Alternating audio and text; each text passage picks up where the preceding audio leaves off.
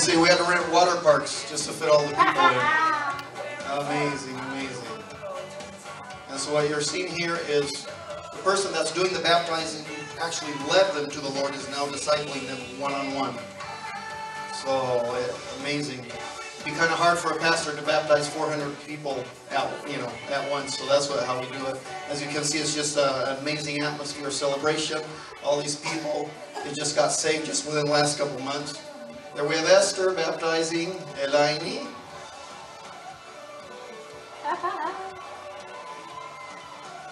And there I am baptizing uh, my spiritual grandson. So he's been free from alcohol and drugs. His family restored for about a year and a half now. Amen. So just a lot, a lot of testimonies, a lot of amazing stuff. And uh, as you can see, it's a big party, and we actually call it that. We call it the Party of the Waters when we do our baptism, and it's just an amazing time of celebration. Just uh, incredible, incredible thing.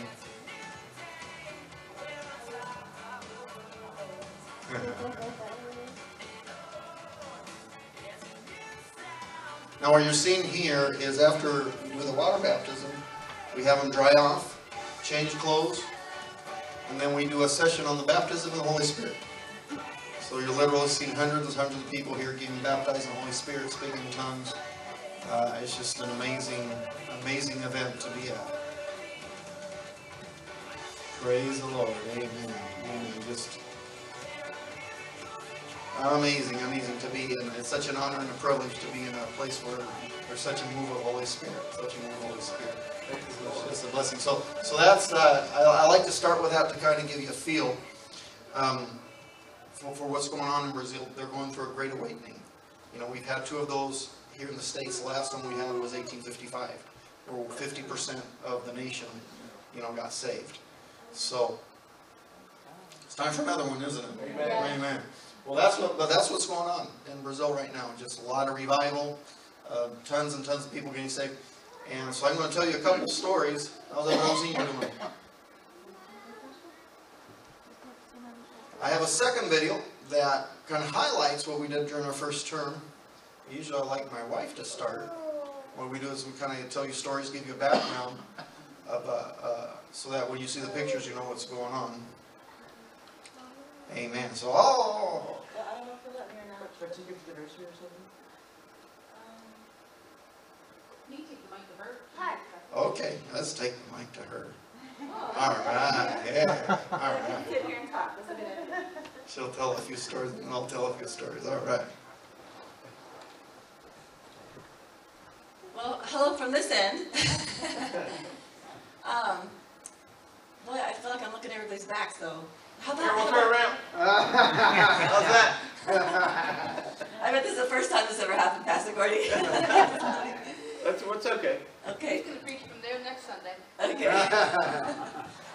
Well, um, first of all, thank you again. You all, seriously, like Aaron has said, have supported us, you know, very faithfully over these three years, and we just appreciate appreciate you guys from the bottom of our hearts. And um, uh, the first six months that we were there, Aaron was still learning his Portuguese. He had known Spanish because he's a missionary kid from Chile, so he speaks Spanish. But in Brazil, we speak Portuguese, you know.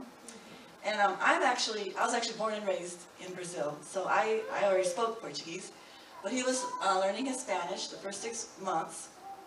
And so um, he would already minister all over the place, but with a translator. Um, but the kids needed friends. They were all, oh, we miss our American friends, and you know, nobody understands us and stuff. So um, I was just putting before the Lord, like, Lord, we need friends for these kids. And um, I think Lord gave me an idea, and, and um, and it, it worked out. We, we ended up going to the, the church has a ministry for slum children. Unfortunately, Fortaleza is the cities where we live. Unfortunately, there's just slums and slums and slums and slums and slums all over the place. And um, these children don't have, um, most of them can't have food to eat. They don't, they just simply don't have enough food to eat. Um, so they don't have a, a hot meal a day and stuff, and they, they're in the middle of all these gang wars, and it's just violence and violence, and uh, a lot of abductions, a lot of, of kidnappings all over the city. Um, Fortaleza is known as the second highest um, child sex trade in the world. So it's horrible, and, and even to keep our kids together, it's just, you know, and, um, it's just, uh, like even close to our cell group, there's this little, this lady, this mother, she was just playing with her one-year-old, and this car just, and this is close to our cell group, which is why we knew about it. Car just came up, just ran up, guys just jumped out of the car, grabbed the baby, and just ran, and she was just, you know, shocked and, and stuff like that just happening a lot, so it's just horrible, horrible, um, just destruction and just death and kidnapping and, and all this. So, um, but our, our church has this ministry in, we take out as many slum children as we can that will come, and we bus them to church, and at church we have this ministry, kind of reminded me of you, you all here have a daycare here, huh? Yeah. So same idea there, so it's, it's kind of like a daycare, and we help them with their homework, it's all the way up to age fourteen. And uh, we help them with their homework, and of course we teach them about Jesus, we give them that hot meal that many of them would not have at home. And um, we also have ballet classes for the little girls if they want it, to make it more fun, you know, more inviting. And, um, and so I took our kids there because they needed friends and they needed to learn Portuguese. I'm like, what, what, you know, there's no better place. So sure enough, we went there and they made a lot of really special friends there with those kids. And, and um, it's just beautiful watching these children worship the Lord. I mean, I mean, you know they've come from horrible backgrounds, horrible, horrible stuff, and yet when they worship the Lord, it's just with all their heart, and, and they when they sing, it's just like yelling, you know, it's just just with all their heart. And so I was one one time I was just I was just crying, just watching their worship, and they're like, Miss Esther, are you okay? Can we pray for you? Can we pray for you? I was like, no, I, I was just just uh, you know appreciating you guys, you know. But they're like, no, what prayer request do you have? And they're like, you know, putting their hands on my head and praying for me, for God to help me and bless me and stuff. And um, one of the little boys, his name is Mateus. His his mother had already been murdered, but in the dr- drugs and and gang type deals. And then his older brother had already gotten murdered because of drugs. And then in class, he came, he raised his hand and he's like, teacher, they're after me now. They want me to be their airplane. And an airplane is a kid who will transport drugs, will pretty much walk or bicycle the drugs from one section of the city to another. Because if they're caught, the police won't do anything. If you're 16 or, or older and you're caught, then you'll go to jail or whatever. But if you're younger, you can murder, literally. You can ser- seriously kill, and the, the police will be like, oh, he- he's minor, so they'll let him go. So, so this kid, they were threatening him, you know, you better, you better be our airplane or else. And, uh, but he had been with the ministry for several months, and he had already given his life to the Lord. He already learned how to worship the Lord and read his Bible, and which reading, by the way, is another thing we teach there. Anyway, so he was just full of the Holy Spirit, you know, and he would just told him back, no, you know what? And he's telling me this in class. You know what? You can kill me if you want. I'm going to see Jesus. That's fine. And, and uh, of course, he's telling me, and I'm going, oh my goodness, oh, poor kid, you know. And um, what ended up happening is his aunt, because his mother was murdered, but his aunt ended up sending him to a little town far, far away from Fortaleza and far, from all those gang people, which we thought was a great idea, you know, to send him far away. But we missed him so much. I mean, looking at him, he's just this happiest little kid, you know, he's just so full of joy and love. And, and uh, but that, he's just one example of so many of those kids there. Um, every Friday, my job every Friday is to teach them a song on the guitar. The, the, the director of the school wanted me to teach them guitar, so I said, sure. And I, but I told the kids, I will teach you guitar if you promise to play just for Jesus. You know, don't go playing at some bar somewhere. and so like, yes, yes, we'll, we'll play just for Jesus. And so every Friday, um, I'll get a song from church, any worship song, and then teach them that song. And then, but they were so excited to, to learn these songs, and especially this one girl.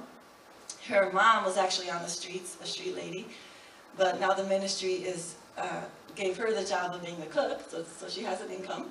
And then her daughter, who's like I said, 14, I would teach her, and well, I'd actually teach the group, but she would really get it. And every Friday, I'd have to come up with a new song every Friday because she would learn that thing. She'd play and play and play and learn it, and she could sing it. She's totally on tune, you know, just and just her heart for the Lord, just worshiping the Lord. And um, and then days that I'm not there, she'll teach the other kids.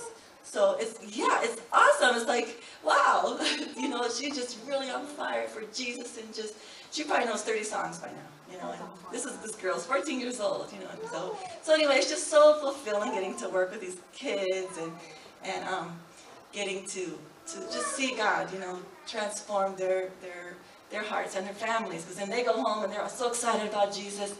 Um, they tell their moms and dad, well, the moms that they have, or grandmas and dads, not usually, you know, but anyway, so then, um, then they'll come to church too, and the whole family gets saved, and then they start going to a cell group, which our church has these, um, small groups in, in the, in the slums, lots of them, hundreds of small groups in the slums. And so they're really growing, and they're just, it's just beautiful, it's just such a fulfilling and wonderful thing, being able to work with those kids. So that's what we did the first six months, um, of our time there. All right, you can turn around. All right, so, so, so for the first six months, what I did was uh, practice, uh, learn my Portuguese, learn my conjugations. I didn't minister almost every weekend, but I did it in English with uh, English translators, my first couple of disciples. The way our DNA is set up there, we have small groups and we have one-on-one discipleship, which you've heard from, from Uncle Abe, from Pastor Abe. So we're, that's all we live, breathe, drink, eat, drink is one-on-one discipleship. So my first two disciples had lived in the States for about seven years, so they were very good in English, so they translate for me. And after about six months, I got invited to this new church plant, it was about two months old. They didn't have a building yet. I got there on a Saturday night, about 15, 20 people. We were out under the stars with a, with a little light there. And I got there, they invited me to preach, and I got there, my translator wasn't there. So I was, didn't know what to do, but I decided to go for it. So I preached after six months, my first sermon in Portuguese. I have no clue if they understood a word I said, but I smiled a lot, and they smiled a lot. You'll see a picture of me smiling there, my first sermon. And, you know, everybody smiled so, and laughed so. And I think they were laughing because the Holy Spirit was touching them, not because they were laughing at my accent. But anyways, You might have been. But, so after six months, preached my first sermon. Then, the next week, okay, I have to hurry this. Next week, uh, they, a youth group in one of our churches had invited Esther to go share her testimony on the Amazon. And so we got there, and there was this youth group of about 30 kids, and Esther starts telling her testimony. You know, she grew up on the Amazon, and she lived for long periods of time. Her family would live on a boat, houseboat, go from village to village evangelizing, church planting.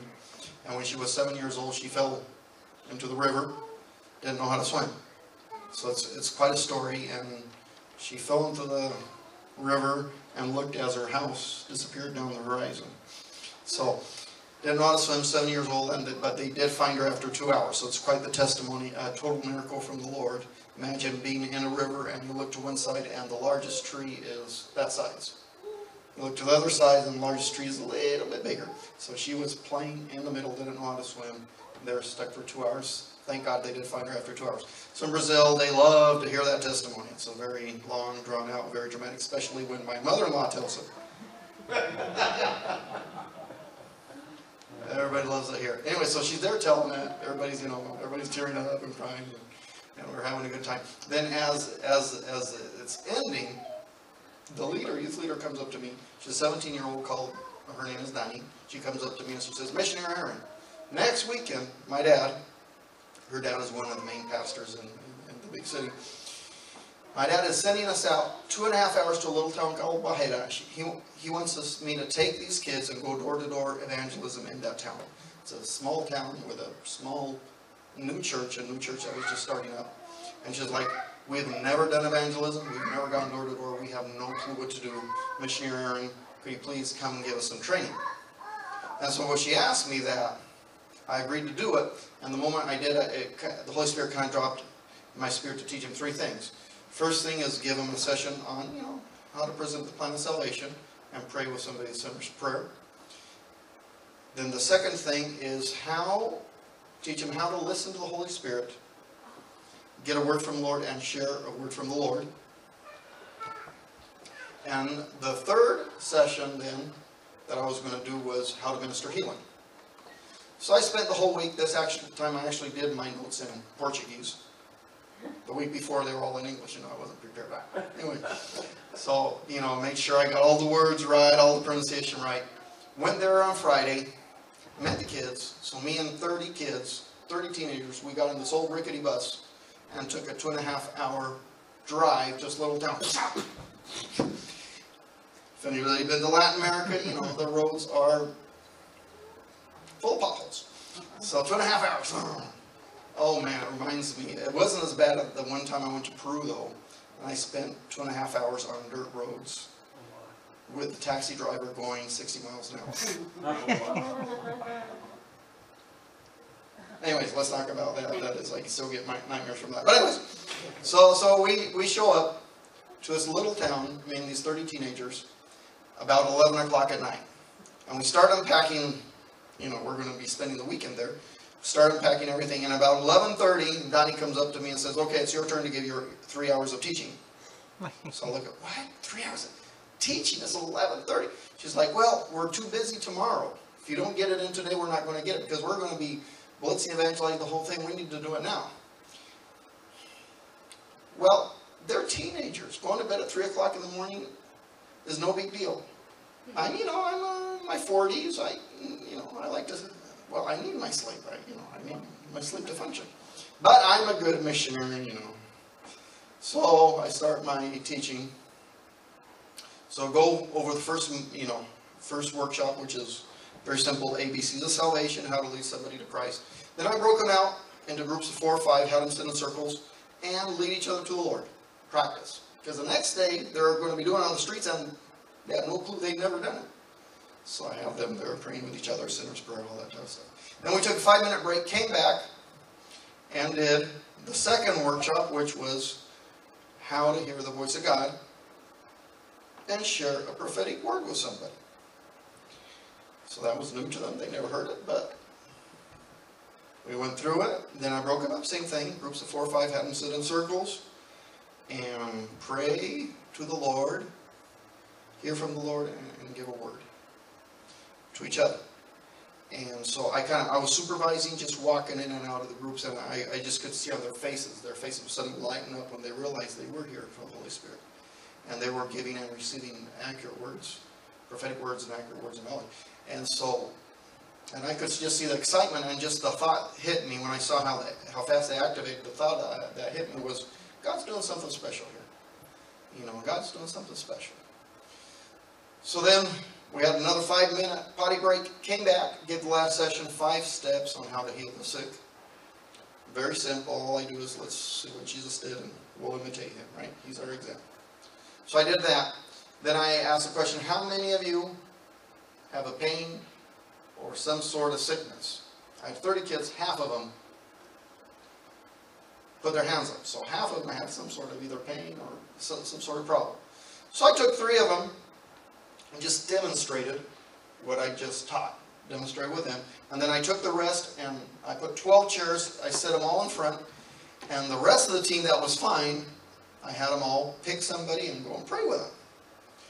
And so they all went out, started praying, and lo and behold, every single person got healed. And the kids were very excited, but I was even more excited. Like, wow, I couldn't believe it. Just uh, amazing, blew me away. And just the thought hit me again, you know, something something special is going on. God's doing something special. God's doing something special. So, sure enough, I get to bed at 3 o'clock in the morning, get up the next day, all dragging, all tired. We get the kids up, divide them up into groups, give them their maps. You know, you're going to go down this street, you're going to go down this street, etc. We're going to try to cover the whole town. And then I told them, guys, you're wonderful. You've been trained. I didn't sleep last night. It is 105 degrees outside. Go in peace. God is with you. Praise the Lord. And so, being the wonderful, good missionary I am, I went and slept while they went out. just to make sure that's the only time I slept while they were evangelizing. All the other times I was in the front lines them, okay? But I was so tired, I just couldn't handle it. So I went to sleep, did my holy snore, came back that afternoon, started receiving the, the teams. I just started hearing story after story after story what God had done. Just God just blew my socks off, blew my socks off. It was just amazing. So I'll tell you a couple of stories.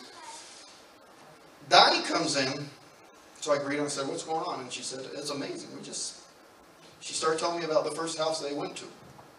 They go to the first house, knock on the door, and this lady comes out. And, you know, uh, what I taught them was when somebody comes out and you start talking to them, ask them if they have a need. They have some sort of need, to offer to pray for it. And normally 95% of the time, they're not going to turn down prayer. They're going to allow you to pray for them. And so I say, when they let you come in and pray for them, then that's an opportunity to share the gospel. So this lady comes out, they start talking to her, and they ask if she has any need for prayer, and she's like, yeah, I've had this back pain for a while now. Uh, you know, it's real, really hurts, it's painful. Please come on in. So the kids go in, lay hands on her, pray for her, and God heals her. And so this lady's all excited, wow, pain. Wow, it's been so long since I haven't had any pain. And then she says, well, why don't you guys wait here? She told the team, go ahead, wait here.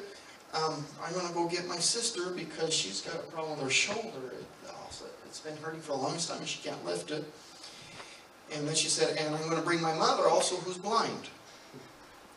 Well, she, when she said my mother's blind, the team kind of cold, broke out in cold sweat. oh no, oh no, the mother's blind. So they were kind of sitting there, and so she went and she brought her sister, mother, their husbands, nieces and nephews, just the whole extended family. Everybody she could find, she dragged them into the house. There's the little team there. You know, these are 14, 15, 16 year old kids. And so they go for the easy one first, for the for the sister that's got the problem with the shoulder. So they lay hands on her, pray for her, and God heals her. You know, she's moving her shoulder and doesn't have any pain, and the family's getting excited. And, of course, now it's time to pray for the mother. So, with much fear and much trembling, they go over and they pray for the mother, and God heals her. And so, wow, they're, amazed. The, the family's so excited. They, they, so then they go and they explain the plan of salvation, and the whole extended family, they all get saved. All get saved. And I met them that night. We had a service that night. They all came. I, I met them all there. Uh, wonderful, wonderful thing. So, so that's quite experience. So the team's all pumped up. They're all excited. You know, it's just an amazing move of God. So then they go to the next house, knock on it, and uh, this lady comes out and they start talking to her and she's like, yeah, come on in. I, yeah, I would like you to pray for my husband who's blind. So two houses in a row, two blind people in a row. So they're like, yes, we can do that. You know, they're all pumped full of faith from the other experience. So she brings the husband out. So Donnie, full of faith, expectation comes, lays hands on him, they rebuke and pray, and nothing happens. Of course, one of the things I taught him was don't give up. You know, don't just pray once and give up. Keep on praying until you get your, your, your miracle. So she's like, we're not going to give up, so she prays a second time. Nothing happens. But she's a trooper, so she prays a third time. Nothing happens. So she's getting tired. So she tells the next guy in line, next time, okay, it's your turn. Your turn to pray. So this little 14-year-old teenager comes up and he prays a fourth time. Nothing happens. But he's not going to give up either. So he prays a fifth time. Nothing happens. So he's getting tired. So now he calls the next girl, the next girl, a 16-year-old girl. So this little girl comes up and she prays a sixth time. Nothing happens. And so they're, as they're telling me the story, I'm like, wow. And uh, see, I would, I told them don't give up, keep on praying. But it's a good thing I was snoring because I would have probably given up already. but they just believed and they were doing it. So this little, little girl, she's like, I'm not going to give up. So she lays hands on him a seventh time and bam, God heals him. At the seventh time, they just pressed through and got their miracle. Now, when that story got out to the rest of the team, just everybody's faith went through the roof and we just started having miracle after miracle after miracle after miracle. We started having, you know, people with strokes that couldn't move limbs started getting healed. We had broken bones that couldn't get healed. You'll see on the video, you'll see one picture where they start talking to a guy, ask him if they had any need for, for prayer, and he takes off his shirt and he's got a tumor the size of my fist on his back. And so they'd lay hands on it and, every, and pray for it, and every time they'd pray for it, it'd start to shrink. And they pray a second time, it shrink even more, third day, you know. And so we just started miracles, miracles, miracles. And it started, it it was quite a breakthrough we had, and then we'd go on mission trip once a month or every other month. And that whole year, that was 2014, that was right at the beginning of 2014, we had that first mission trips. 2014, we had 12 blind people healed. Amazing. And I've been praying for my sick, you know, all my Pentecostal life, all my Pentecostal 40 years. I've never seen a blind people healed. I go give a, you know, half hour training to these kids and, you know, we're seeing all kinds of blind people healed, lame walking, just amazing, amazing things. Really, the only thing we haven't seen is somebody raised from the dead. That's about the only thing we haven't seen is just miracle after miracle after miracle. Well, that same day, and I know it's, it's eight, so we're going to wrap up here. That same day, Donnie, who's a youth leader, she has a, she had a younger sister, got who was 15 at the time. They were walking down the street, just handing out invitations, handing, uh, inviting people to our evangelistic meeting that night. And right close to a bar, there was a man sitting there, so she goes up to him, hands him a, uh, a flyer with information inviting him, starts talking to him. He gets the flyer, he tears it up, throws it on the ground, stomps on it. And he tells her, I'm an atheist. So she starts talking to him, and whatever she says, he's like, I'm an atheist. I don't believe that. I don't believe in God. And so they're kind of going back and forth, and he's just got this huge barrier, you know. You know, he's not going to believe in this or take any of this. And so they're, they're talking for a while, and almost by accident, she didn't even realize, but she kind of reached out and touched his shoulder.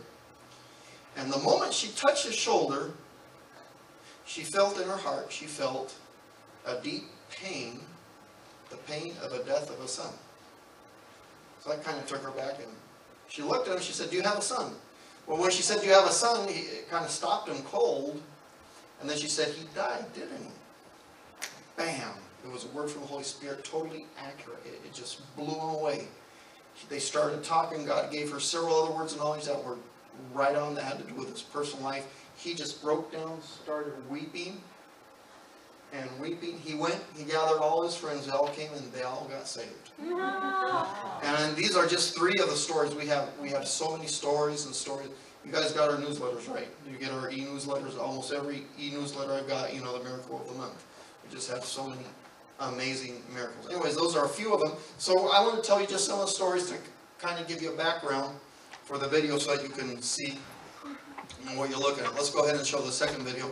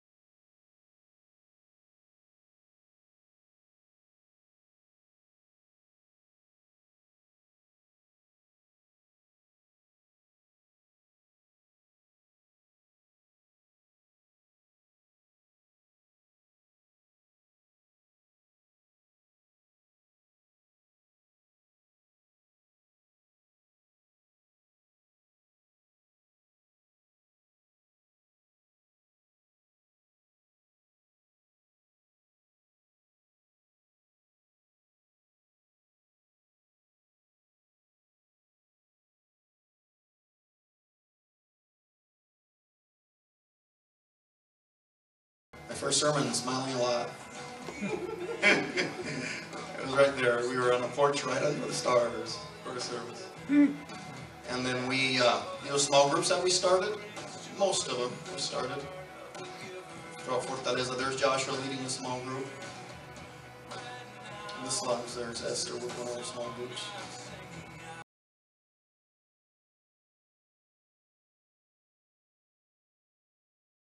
And these are Esther's disciples. So these are the women that Esther would meet with every week. Those are mine. Every week to pray, mentor, and train and disciple. Those are also my disciples. So here we have pictures of our missions teams.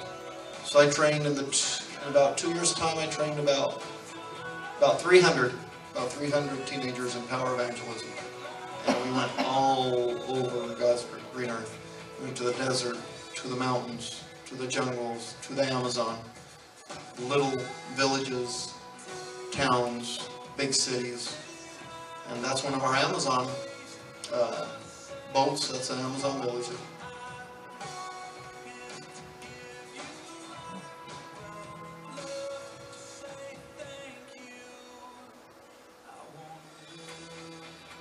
Specialize just going door to door. There we're giving free hugs. We do door to door, we do in the plazas, we do a lot of outreach. I'm doing my training. We do training every single time that we do training. So many, many, many miracles. That's the first lady that got healed. That's kind of gave us the breakthrough. Got it all started.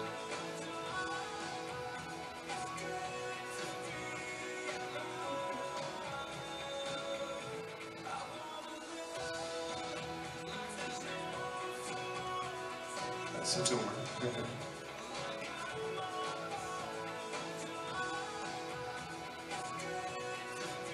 and it was uh, a lot of times what happens happened when we go to a town with a new church plant of let's say 20 25 people. We'd go there for evangelism and a month later they were running 100 and that happened a lot. I mean amazing. It's just uh, amazing to see see what, what god was doing all right and it's about time to finish i know you guys want pizza the very last video huh you don't you don't want any pizza okay doesn't so I will go for another hour? No, no. Still uh, walk while we. Okay, okay, good. The last video is our Amazon trip. So as you know, a lot of our ministry is in the Amazon.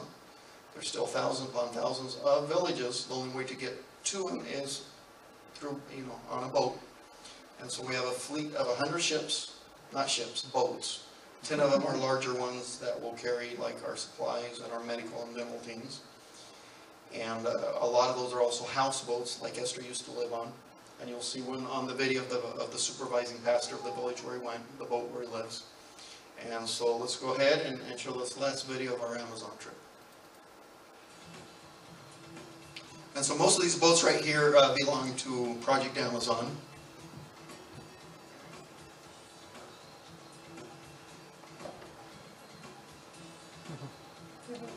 Except that very last one. There's Esther and Joshua. We're getting ready for the trip.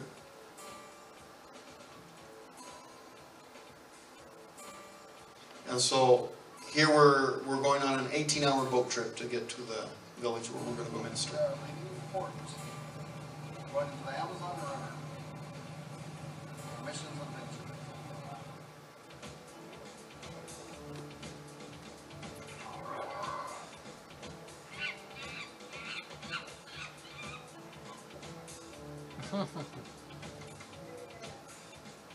found that little guy right outside our boat one morning. oh, and the food's awesome. You're going to love it. You guys are going, right?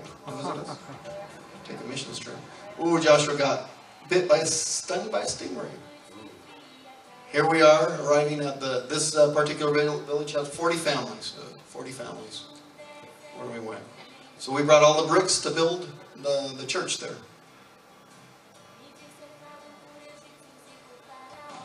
And then when people heard that the medical and dental were there, of course, they started coming in from that community and from other communities.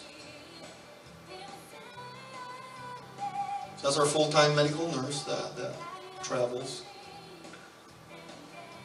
This is a doctor. This family, she's leading to the Lord. They're from a village five hours away.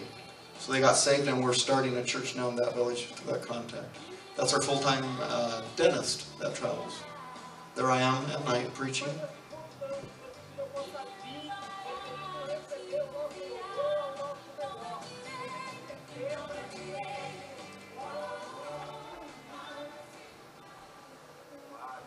You can turn up the audio here a little bit. Every time I get tired and discouraged, with so many things going on, I read the story of Joshua and Caleb. When I read the Bible, I see that they were great warriors that didn't give up and reached the promised land. What encourages me is their stance of faith in choosing to believe the positive report.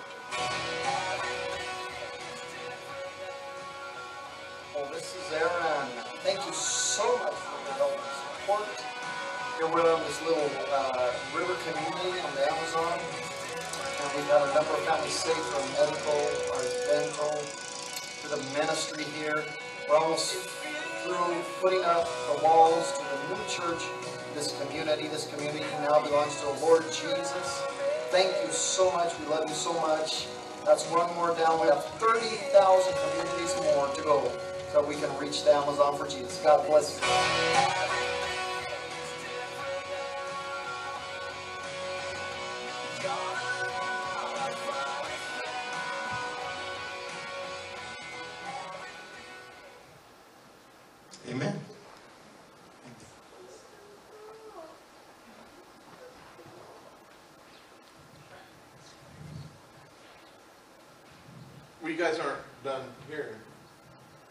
Uh, you can tell stories all night long, I can listen to those. Okay, so you got more stories, right? Right, well, we'll go in the back and have some pizza and, and you can keep telling stories. Esther can tell some too. Oh, Yeah, Yeah, she's got good ones too, so. Let me pray. Father, in the name of Jesus, thank you for, uh, just the encouragement that we see that your, God is moving in the Amazon. Lord, we, we, uh, we thank you, Lord, that you've, you've called us here. And Lord, we know that there can be revival here. We're, we are waiting patiently, but eagerly awaiting, uh, revival in, in America as well. And so, Father, thank you for, uh, encouraging word. And Lord, we just pray over Aaron and uh, and Esther and their family again. And, and Lord, thank you that you, know, you continue to use them, continue to bless them. Lord, as we fellowship, continue to fellowship, I pray that you bless that fellowship and, and Lord, continue with us uh, the rest of the week. In Jesus' mighty name, amen. Very good. Let's go back to the back and you can, you can, you can keep talking.